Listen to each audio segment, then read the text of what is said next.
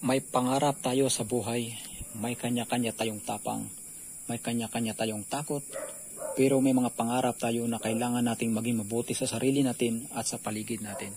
So, yung guys, yung development po ng building na ito guys, nakikita niyo naman po yung ano yung ah, mga finish ng ano natin ah, pag forms kahapon hanggang sa mabaklasan ng forma.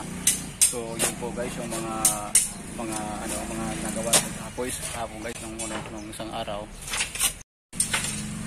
Itong poste na lang po guys yung ah, pinakabitan ngayon ng ano ng bakal o tawag na anilyo. Tsaka yung sa kabila. So, dalawa. Dalawa na lang po guys. Ito yung itong nasa harapan po guys yung ano ah, dito nakalagay yung ano yung R. So yun po guys. Yun.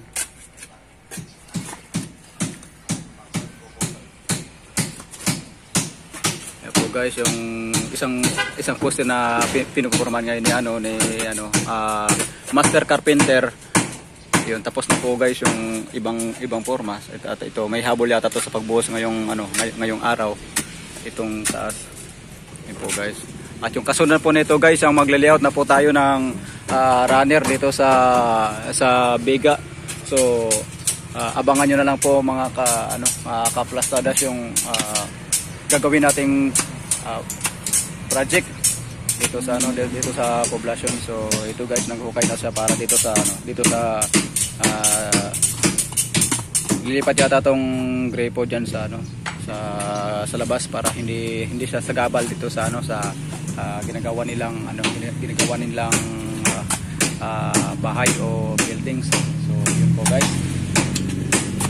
Ah, medyo makalat pa kasi eh, kulang yung tao dito siguro mga pagbuhos pagbubuhos ito ng ano ah, sila baka ah, magdadagdag sila ng ah, karpintero so ayun po guys